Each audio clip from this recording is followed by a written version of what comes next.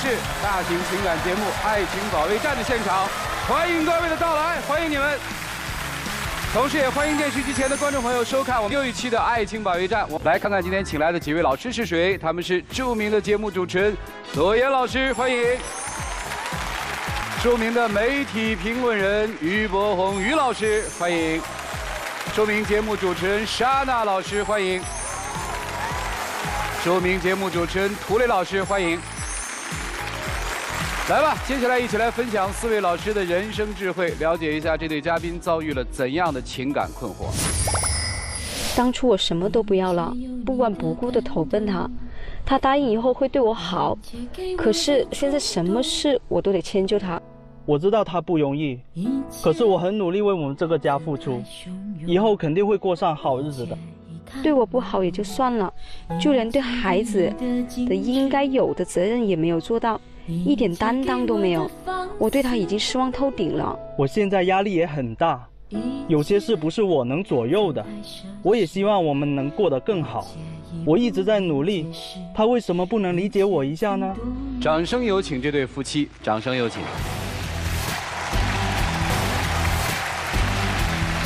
男嘉宾小欧三十岁，来自广东公司职员；女嘉宾小张二十九岁，来自广东公司职员。有请两位，有请。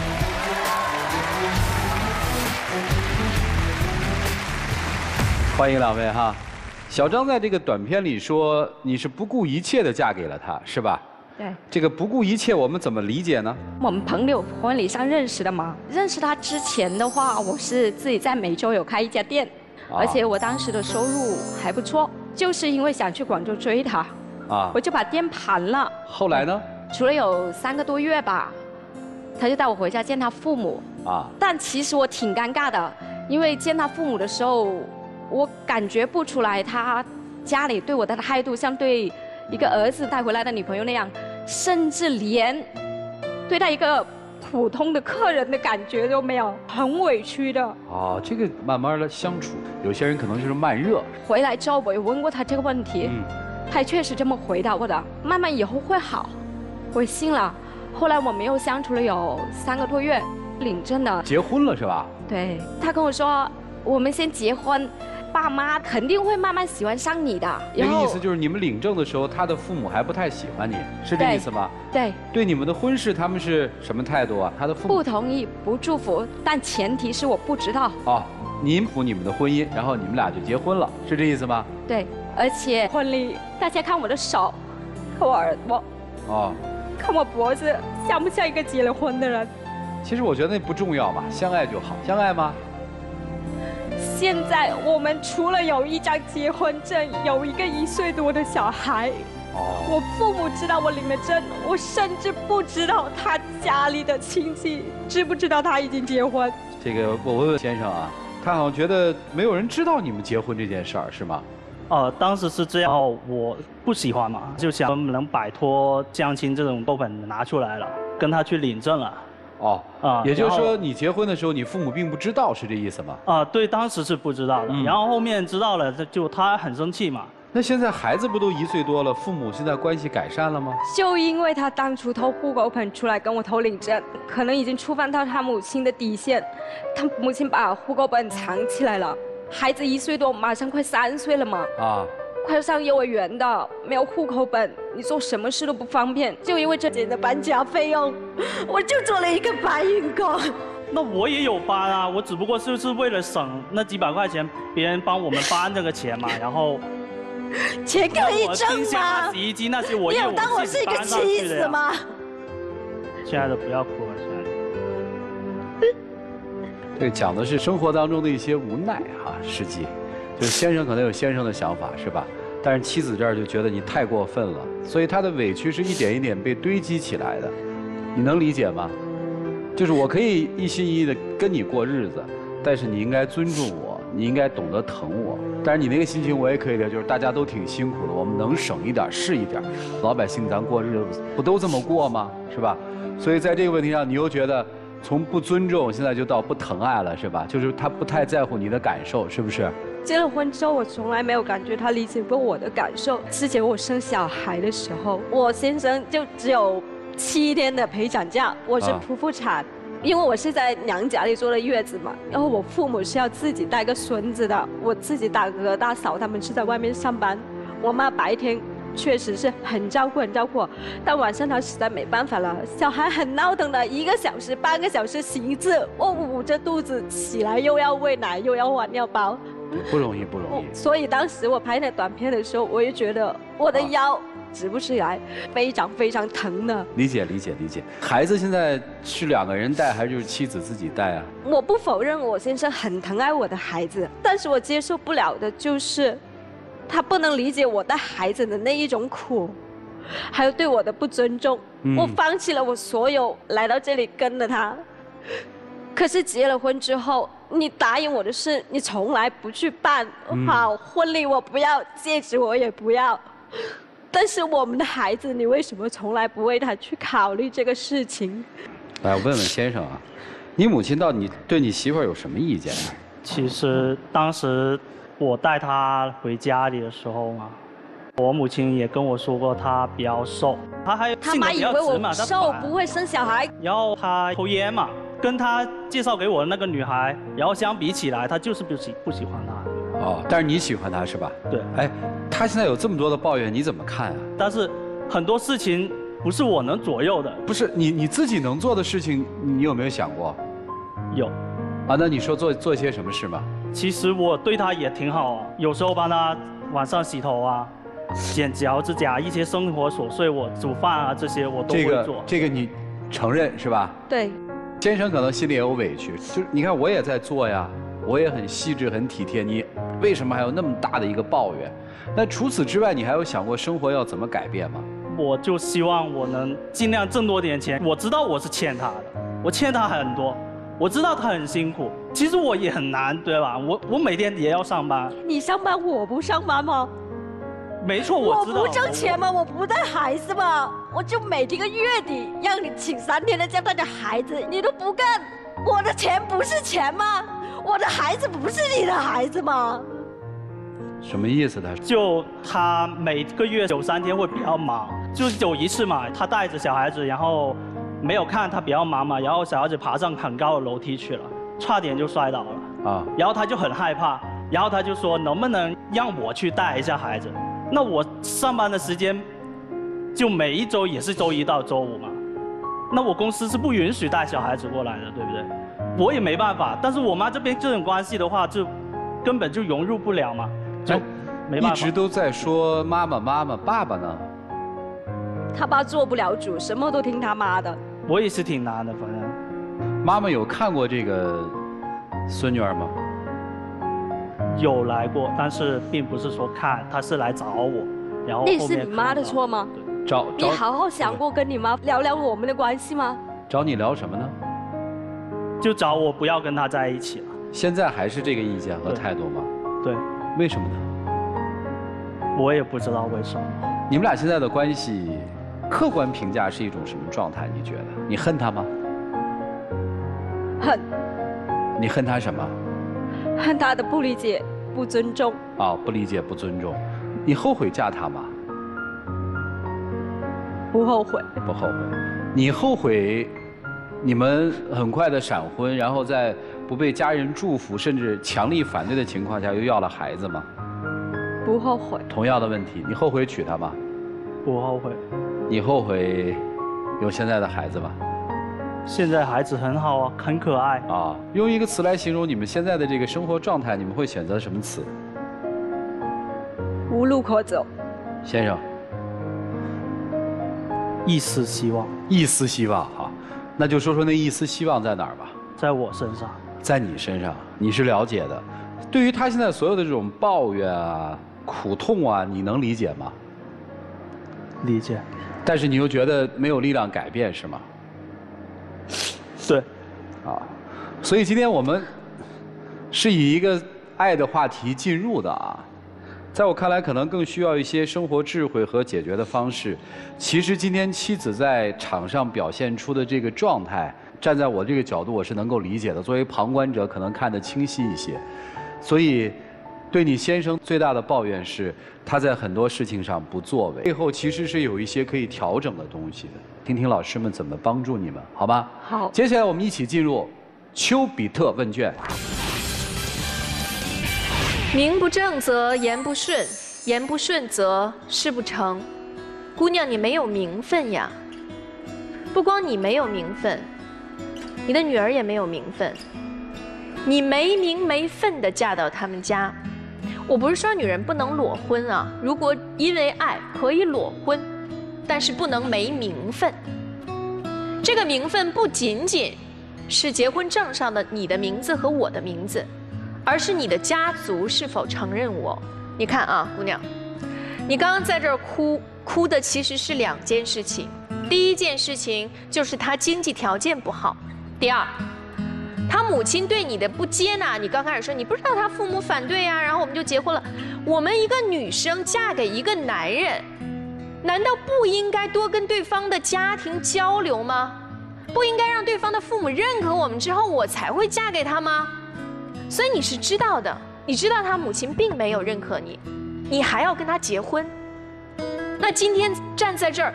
痛哭流涕，你到底是哭你的委屈，哭他对你不好，还是哭你自己呢？我们再来说说男生啊，谁的错呀？我的错。谁的父母，谁去沟通？谁的妈，谁摆平？你刚刚跟我们讲，你说，哎呀，我跟我妈关系也不好，所以呢，你就是就得你去跟我妈沟通。她跟你妈关系能比你跟你妈关系好啊？作为你的母亲。她会直观的认为，就是因为这个女人，让我的儿子忤逆我，我白养了他这么多年，竟然敢偷户口本出去跟他领证结婚，我为什么要承认他？从结婚到现在，我一面都没见过。你们有认这个妈吗？他凭什么要认你们？谁的错？我的错。你的妻子没有名分，你的孩子也没有名分。你们打架打到我们这儿来了，是我们能解决得了名分的事情吗？出一个主意解决你们现在最大的困境。每一个母亲都是爱自己的孩子的，那是她的骨血。这个孙女儿是她的亲孙女儿。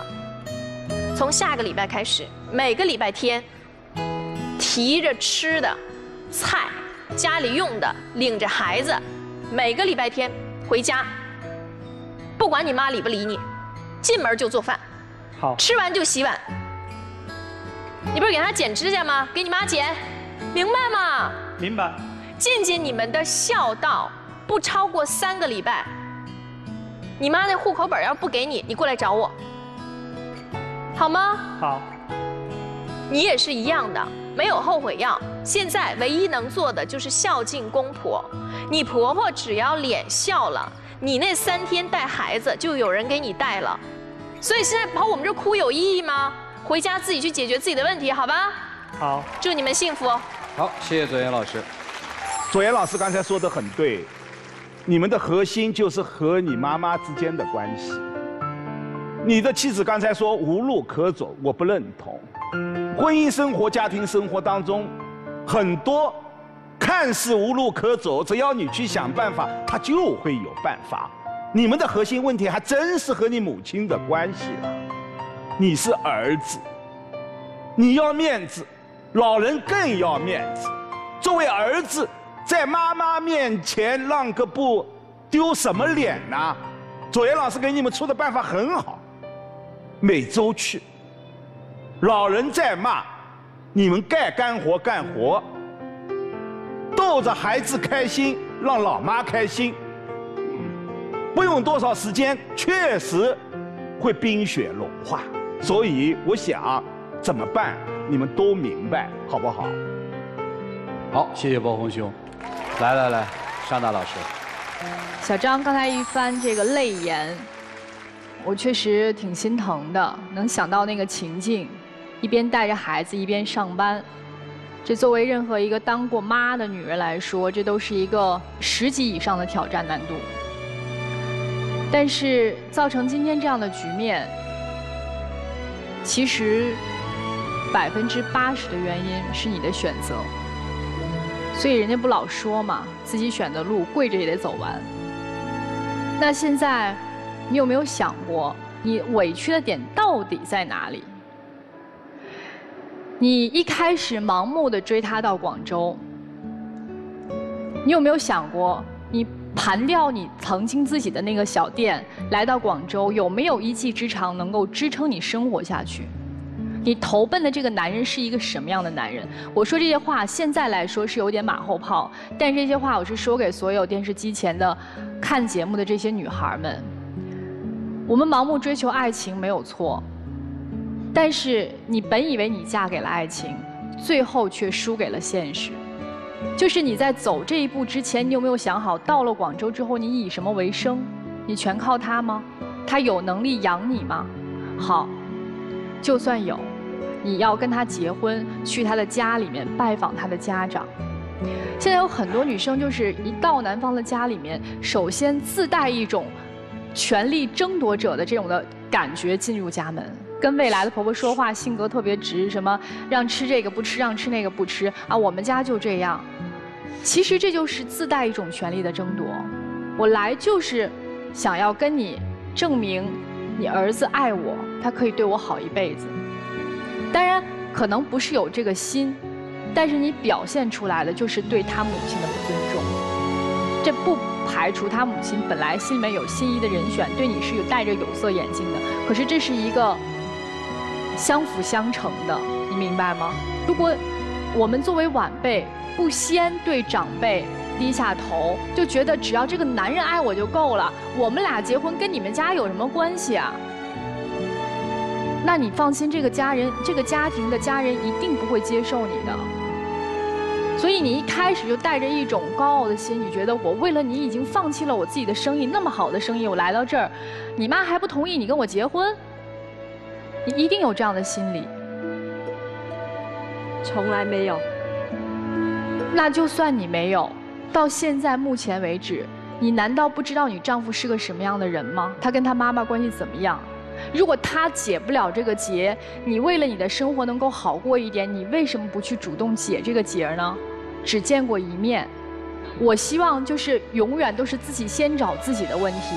你想没想过你委屈的点在哪？你到底因为什么委屈？比如说，现在我跟我的婆婆把关系和解了，我就不委屈了，我就觉得这日子有希望了。那好，那你就朝着这目标去做。你要想到去解决这些问题的办法。你不能什么都指望扔给他，让他去解决这个问题，因为你找了一个什么样的人，嫁了一个什么样的人，你最清楚，对不对？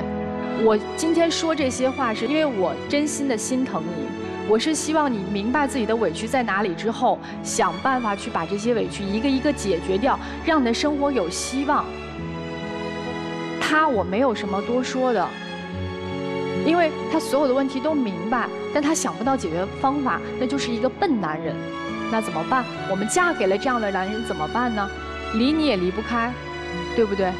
所以学会想一想自己的委屈在哪儿，然后去想解决的办法，不要每天就生活在哭声和泪水中，觉得自己很苦很委屈。你越苦越委屈，你越找不到解决的方法，好吗？好，谢谢邵大老师。来，涂老师，生的反义词是什么？死。死。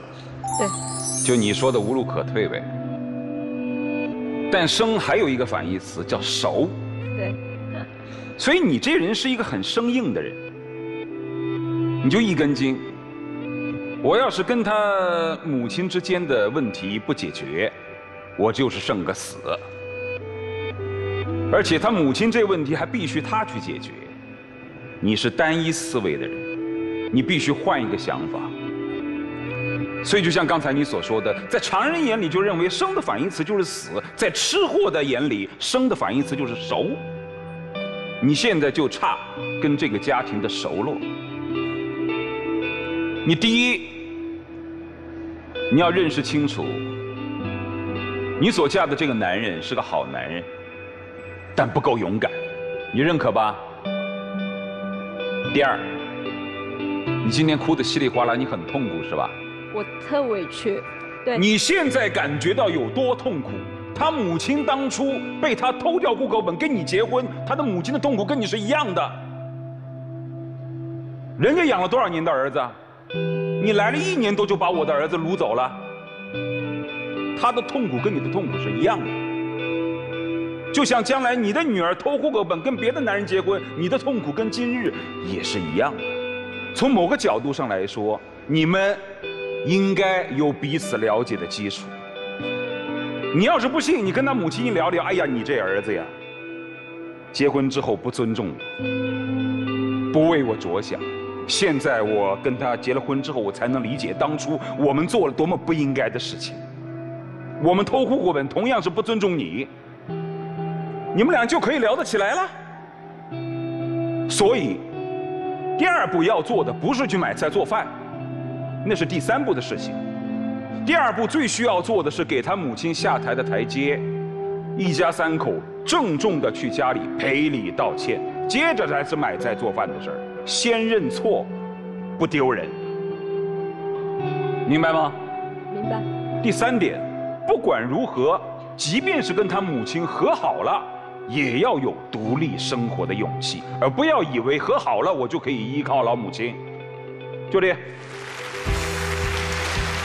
我觉得一个成年人完全有权利来决定自己是否结婚和和谁结婚，任何一个另外的成年人都不能以任何的方式来阻止他们在一起。这大概是一个有个人的一个观点。接下来我们一起进入真情六十秒。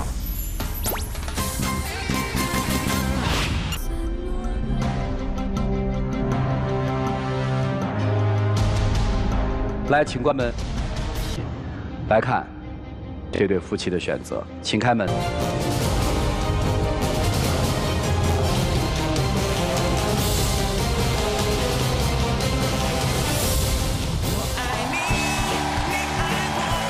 来，有请我们的小花童，有请。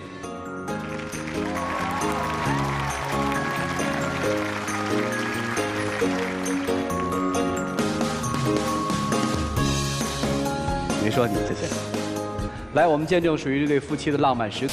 他是我的初恋，第一次见到他的时候，我就决定要对他好了。我做的一切事情都是为了他，让他觉得跟我在一起是幸福的。他一开始对我是挺好的，让我觉得特别感动。但是后来这种好，慢慢的就变成了一种负担，让我越来越有压力。我的世界里全部都是他。我也希望他的世界里也只有我一个人，但他好像并不愿意这样，还经常因为这个跟我吵架。他情商太低了，他所做的很多行为越来越让我觉得幼稚可笑。他根本不会谈恋爱，我现在觉得特别累。掌声有请这一对，有请。男嘉宾小徐，二十五岁，来自辽宁服务员；女嘉宾小梁，二十二岁，来自辽宁学生。来，有请两位，有请。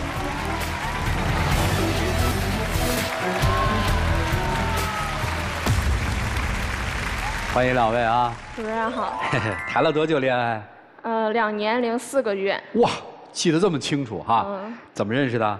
嗯，是我同学的对象，是他的哥们儿。然后当时我是和上一个对象刚分手的状态，然后他们是想让我换一个心情嘛，然后就是介绍我们俩认识。哦。一开始只是想当个普通朋友处着，没说往对象这方面发展呢。哦。嗯。后来呢？后来就是。他见着我可能，你说你见了人怎么了？他长得就是特别的好看，而且特别爱笑，当时，然后一笑。失恋的时候也爱笑哈。对，我就特别的喜欢，追能有两个多月吧，然后就给追到手了。小片里说对你很好是吧？嗯，对他一开始对我真的是特别好，我就是从来没有感觉到有人对我这么好过。后来呢？就是从我们俩刚开始处的时候，他就让我把手机密码。告诉他，然后指纹也都设成他的，然后他就是趁我不知道的时候，去把我微信里的男生都给我删了。这这是为什么？那哥，那我觉得只要有了我，那别的人都无所谓呀。那跟他干嘛呀？那有我就够了呀。哎呀，哪个带头鼓的掌啊？要不然你们俩也上来说说吧。有意思啊。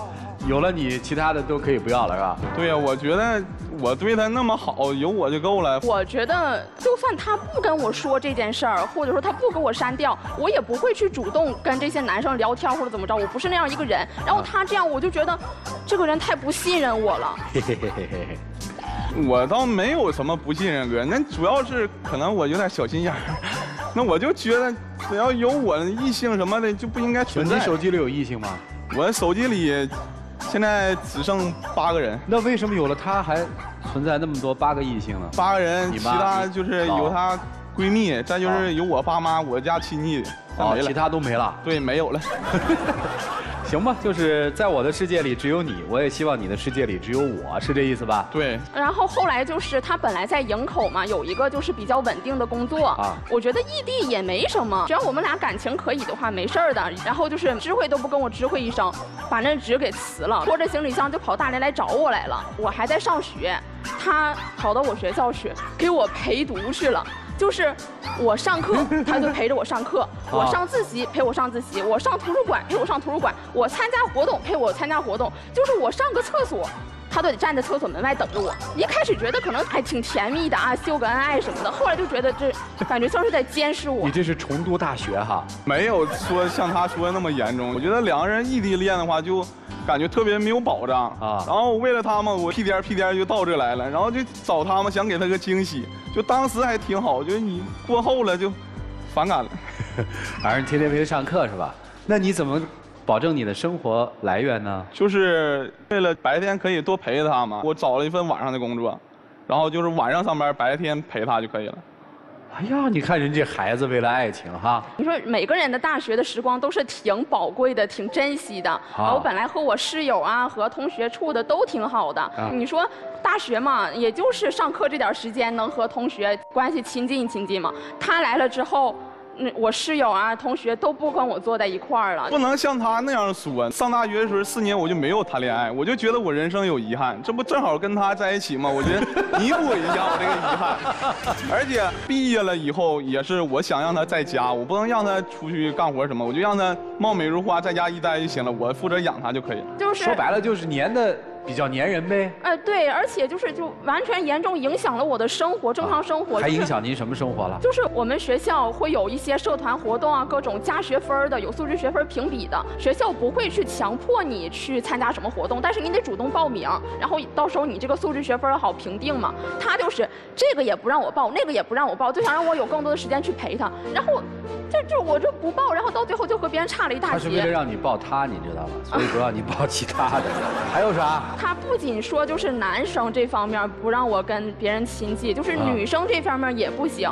就是，呃，我有一个闺蜜嘛，关系还挺好的。有一次我过生日，就是我闺蜜知道她这个人性格就特别的黏着我，然后怕我俩过生日的时候我闺蜜没法陪我，她就提前说要跟我一起过个生日。我说挺好的，然后这事儿吧我没告诉她，因为我知道她这人小心眼儿，她我她可能不太会让我去。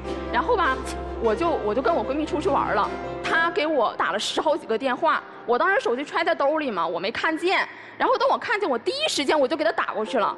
他就特别生气，就说啊，我我怎么出去玩又怎么的，就不带他不告他的那种感觉。然后我闺蜜带了几个男生，这个事儿我一开始不知道，她的目的也是大家能玩的开心一点，热闹热闹。然后这这也没什么吧，哥哥，这事儿你得让我讲。他带他吃完饭了，然后就去酒吧什么地方去玩去了。当时我也不知道啊，但是后人我看到她闺蜜发了一个朋友圈，然后我发现朋友圈他俩旁边还有两个男的跟他们一起。那我能让吗？我当时我就炸了，我给他打了好几个电话，他也不接，后者我就跟他激闹上，那你你也不能爱我呀。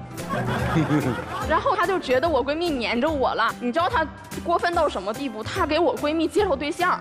就是把她的哥们儿朋友全介绍给我闺蜜，我就觉得她有点太过分了。我觉得我这样做也是好心，好心好心。她闺蜜的话就是特别爱玩，她也不爱找对象。我爸都说了，就像她这样的女人。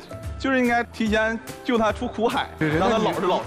你看你把人闺蜜说的哈，就是我闺蜜这个人，她就属于想自由自在、潇洒一点嘛。然后她一开始就特别反感不和她的朋友见面，后来就是连我就躲着，怕一和我俩站在一块儿，她就给她介绍对象。所以这个恋爱谈的等于有了她真的 失去了全世界的。对我就是现在我一点外在的空间都没有了，我的世界就只有他了。那你还有其他的这个生活吗？后来就是我开始做微商嘛，我就是想呃多赚点零花钱。这事儿吧，我一开始我跟他说了，他答应的可好了啊，就说啊这方面我肯定去啊理解你。然后呢，等我一跟男顾客聊天，他就从头到尾的给我翻到底，就那个聊天记录。有的时候，你说你做微商，你是服务人家的，你肯定你的语气得好嘛，啊，细声细气儿什么的。他就是说风凉话，就说哎哎，你看你这个语气，真是你跟我都没这个语气。我我真的是我就觉得心口不一，一开始答应我答应的好好的。那我觉得。就女的买的护肤品比较多，那男的你用不上啊。就是再说了，我爸都说了，那女人就应该搁家养着，就男的就挣钱就够了，你出去干嘛呀？咋说。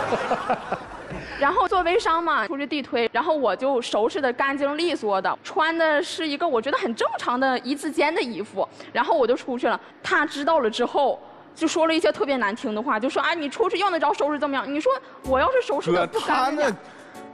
是挺干净，就是露的挺干净，我感觉。没有主持人，我就是一件普通的一字肩的衣服。明白明白，反正这小子就特别在乎你呗，是吧？对，这我真的是就是严重受限我的行动。然后他每次一发工资，就看我的淘宝浏览记录。就是你说女生嘛，你看的东西肯定特别多，但是这些东西都不一定是你真正想买的，或者说怎么着的。啊，他就一发工资。工资钱全给我花在淘宝上面了。我是不是对他好？就是他看完了记录，那我就觉得他喜欢呗，那我就直接给他一起买了嘛。那我就大包小裹我就给他了，然后。他就跟我赖去，他愿意帮你清空购物车是吧？我就不放在购物车里，也也管清。对，我就只是浏览了一下，他就因为淘宝不是下拉不就能看见吗？那我我这不是细心吗？我对你多好啊！我容易吗？我你还这样对我？对，就是这个钱吧，他不是发工资嘛，一个月也就三四千块钱，就全买了，他完全不为接下。那以后就别在淘宝上看了嘛。女生也控制不住嘛，就我我真的不是为了让他给我买什么东西，我就傻小子，你听明白没有？就那就因为他控制不住，我都控制不住了。他看好了我就买。行，我也能感激，就是他没钱，他也知道给我买，但是呢，他会要求我，就是逼我，你收下之后你得发朋友圈，你得去炫耀。你说本来我挺感动一个事儿，到他这儿就变成了就是，我就觉得像有目的性的啊。那我对你那么好，给你买这买那，你是不是应该？炫耀一些，你看我，我感觉我就是这一辈子这世上就是对你最好的人，那你不应该告诉他啊，我对象对我这好那好的，就是，就是到最后就像是我像一个哄小孩的似的，我就赶上他妈，我还得为他操心这个，就是你将来钱怎么花，完了之后我还得哄着他啊，要不然的话他就跟我生气，而且最主要的是。过一段时间，就是买完这些东西，过一段时间他没钱了，他就会说：“哎呦，你看我这钱都给你花了。”就是就这么样说话，你说气人不？那我这么说，我不是想求表扬吗？我，哎，你父母见过这小子吗？知道见过，见过，就啊，就对，就这件事让我最生气，我就见父母生气是吧？嗯，不是见父母，就是他这个人情商特别低，而且就是特别不会为人处事儿。就是我家有两套房子在大连，在一个小区之之中，然后呢，一套是我和我爸妈一起住，另一套在那空闲着。他来之后呢？我寻思不让他就是再额外的花钱去租房子嘛，也也挺贵的。我就跟我爸妈商量，就是这个房子先给他住着。我爸妈也同意，但是就是不允许我跟他一起住。然后呢，他就是在路上，我们在一个小区嘛，在路上见着我爸妈都不打招呼的，就跟没看见似的。这为什么？哥，这这个我得解释一下，就是每回看到他爸他妈，他爸那眼神都像要吃了我似的，就是我每回看到了就他就是。啊！你把我闺娘拐跑了，你等着，你小子，你你别走。我每回看到他爹，我这腿我都打颤，我都不敢走，我都 真颤吗？真颤。对啊，霸占人家的房子，霸占人家的闺女，你打个招呼嘛。我就觉得，就哎，我爸妈对他也算是挺好的了，然后他就这样，然后呢，就是真的是忍无可忍的地步，就是我家那套房，他住的那套房子是两室一厅嘛，他在没有跟任何人商量，我他都告诉都没告诉我一声，就把这套房子给租出去了。什么意思？就是他，把他同事给招用来了。你拿这房子挣钱了，是这意思吧？主要就是他那个房子不是两室一厅吗？一个人太空了。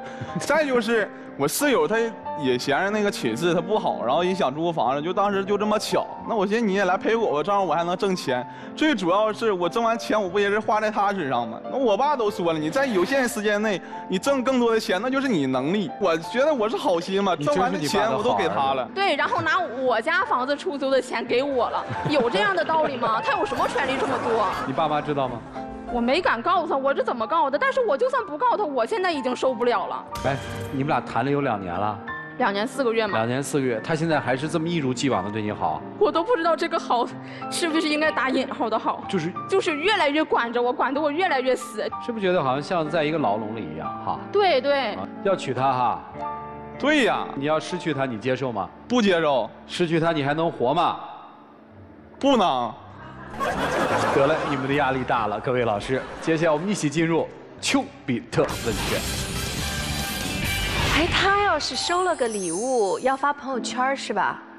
对。但是他发朋友圈没有用啊，他朋友圈里没有人啊，对吧？男的都让你删了，女的可能也会让你删了。他是一个成年人，他应该也必须自己去上课。自己去工作，自己去面对生活和客户，自己站在这个舞台上和所有人交流。刚才不是和赵川老师聊的挺好的吗？我也没看你有意见呀。赵老师对你不是威胁，但是其他人都不行。下边坐的小哥哥，是吧？绝对不能让他们看见你女朋友。你是一个占有欲极强的人，占有欲是因为害怕失去。对，我非常怕失去他。但是，一把沙抓得越紧，那沙子就会越来越少，越来越少，最后就没了。他现在就属于这种状态，他要逃跑。他如果嫁给你，你一如既往的有现在这样的表现，他就会失去全世界。你觉得作为一个女生，她是会选择失去一个人，还是失去全世界呢？是你，你怎么选？你以爱的名义挟持了他，他爸瞅你能顺眼？作为一个成年人，你要非常清晰的认识自己是谁，自己能做什么，自己拥有什么，而不是大言不惭的站在舞台上告诉我们：我养他，你拿什么养他？拿他自己家的房子的房租吗？我如果没听错的话，我们现在月薪差不多三千块钱左右嘛，对不对？对。其实挣的少啊多呀都无所谓的，关键是你要有一个正确的价值观和心态，面对爱情，面对生活。他是一个人，独立的人，他有自己的思想，有自己的行为准则，请你尊重每一个人，好吗？祝福你们，谢谢。好，谢谢左岩老师。来来来，博红兄啊，小伙子，我和你说，你又不是他爸爸，他又不是个孩子，你不好好工作，去陪读干嘛？现在做父母的对未成年人的孩子的手机，我们都尊重，我们都不去检查。她只是你女朋友，你有什么权利去检查她的手机呢？还有一个现代女大学生和异性正常的交往，这有什么问题啊？你有没有考虑过你的这一些做法，确实违背了他的意愿？当然，我看得出这个男生是真心喜欢这个女生，但关键你爱的方式是错的。刚才给你鼓掌的都是男的，没女的。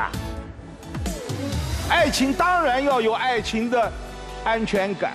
但作为一个男性，爱情的安全感从哪里来？来自于相互的信任，来自于你自己给自己的自信。如果有了这两点，你根本不用去想这些什么治标的、治本的这一些办法了，好不好？好，好，谢谢郭红兄。好，沙娜老师，刚才你一说到这个，就我爸说了，女人只要负责在家貌美如花就可以了。现在社会啊，这话也是说给所有的女生听的。婚姻关系已经从这个圈养型变成合伙型了。合伙型是什么？我们经济的共享、责任的共担、风险的共担，这种观念你要转变。当然还好，这个女生她不相信，她只要在家貌美如花就好了。其实，让一个女人完全在家貌美如花，是对她的一个束缚，是对他的毁灭。其次，我们来说你付出这件事儿，拼命的付出，结果就是会毁掉一段关系。因为你一味的拼命的付出，你就会觉得自己有权利。那这边被迫接受享受的这一方，就会觉得自己有义务。你拼命付出享受的权利是什么？你要删除你朋友圈所有的男性朋友。所以到最后，拼命接受的这一方，他时间长他就会受不了，他会逃离。因为你在觉得付出的时候，自己好像就高高在上。我为你都付出这么多了，我一颗心全给你，我所有的世界全是你。我为了你，我把我这边的工作辞掉，我去陪读。你爸能做到这样吗？我能。当你有这样的心理的时候，你就会觉得，那我当然有权利要求你做一些事情，因为我是这样对你的，你也应该这样对我。但是孩子，爱情当中不是这样的。你这样对他，你不能要求他一样对你，这是你爱他的方式。可是他爱你的方式不一定是这样的，你不能以你爱他的方式要求全世界都这样来爱你，明白了吗？明白所以希望你明白，这样的付出是要细水长流的。你爱是可以，但是如果你拼命一股脑的全部甩给他，不管这是不是他要的，那不叫爱，那只是一种自私。如果真的爱他，你要想想他缺什么，他需要什么，用心去爱，去感受，好吗？祝你们幸福，谢谢。谢谢莎娜老师。来，涂老师，没有尊重的付出是一种自我满足，你觉得你这是付出吗？正常。好了，接下来我们一起进入真情六十秒。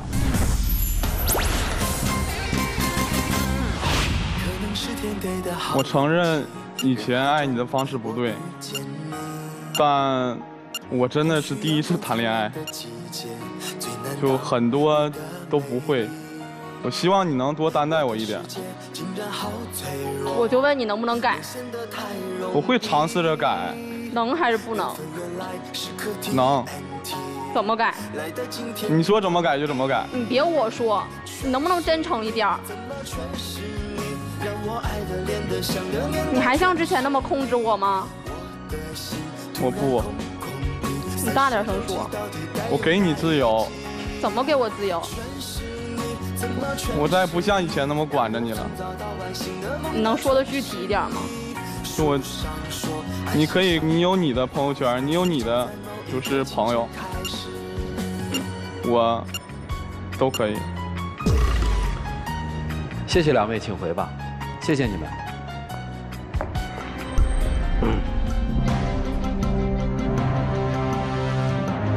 来，请开门。好了，来看看这对嘉宾自己的选择是什么吧。请开。来，有请我们的小花童，有请。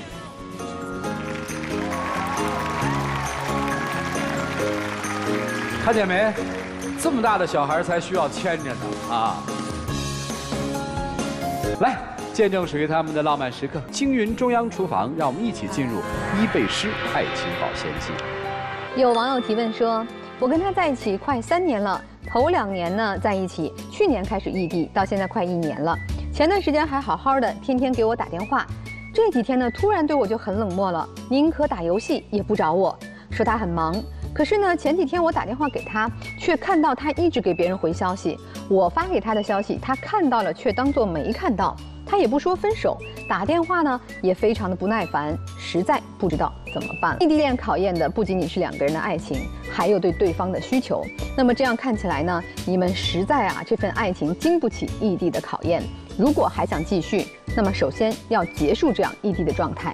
但是我个人感觉，即便结束了，你们的这段爱情也许不会有结果了。我们的节目是由保湿护肤领先品牌药保湿伊贝诗冠名播出的伊贝诗纯净水纯净保湿实时水嫩。如果各位想参与我们的节目，可以关注伊贝诗的官方微信，或者到伊贝诗的线下销售网点进行报名。再一次的感谢现场以及电视机前观众朋友的收看和陪伴，我们下期节目再见，谢谢大家。